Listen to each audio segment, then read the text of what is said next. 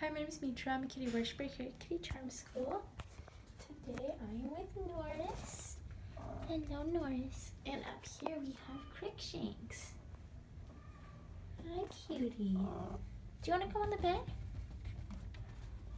No? Okay. You're so cute. And so are you. You're being adorable up here. What, Norris? What? I'll give you some good snuggles.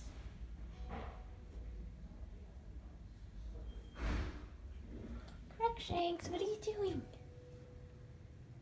What are you doing, Crookshanks? Norris. Where are you going? Where do you think you're going? You're not going anywhere.